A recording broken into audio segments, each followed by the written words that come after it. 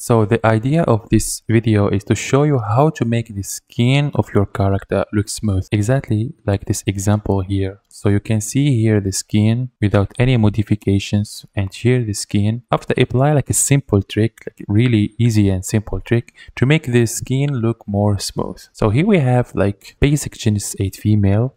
Let's zoom. Let's apply one of our character. Here we have, for example, Jill Valentine. Let's apply the body the face, the hair, and her skin. Here we have Jill. You can see here now that this problem is not really clear, but you can see here some details, and th those details is like make the render final results look fake. So actually, we can see the this problem clearly when we change the shape of our character. For example, let's change the shape here. Let's select Genesis 8 female and apply one of those shapes. And let's see, for example, her uh, breast here or her leg. With the same problem with her leg or with her breast. For example, you can see here, you can see here, this problem is look like the basketball skin here texture. So how to reduce this problem and make it more smooth? Really easy. So you need just to select the Genesis 8 female here character, go to surfaces, then open Genesis 8 female, click here in skin, lips and nails and search here for something called bump. And simply here we need to reduce this base bump to make it zero. Let's see now the results. You can see now that the texture looks smooth. Let's come back you can see here the skin house looks like.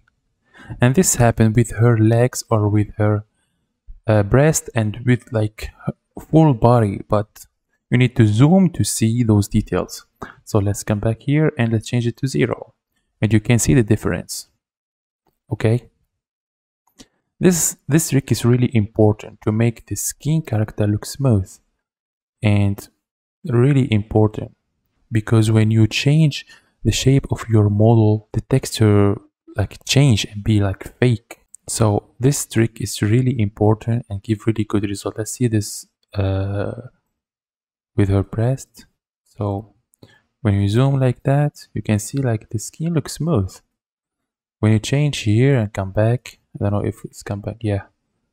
You can see now the problem here is clear. This problem is clear here, the problem. You can see it and we can change here to zero and make it smooth. So i hope you enjoy this trick. And as always if you like to enjoy uh, my product it's always available. You can enjoy the discount. For example this shape and uh, there is so many other products. You can enjoy it all. And if you like this trick please help me with a like and comment. Don't forget to subscribe I hope you enjoyed the video. See you in the next video. Ciao.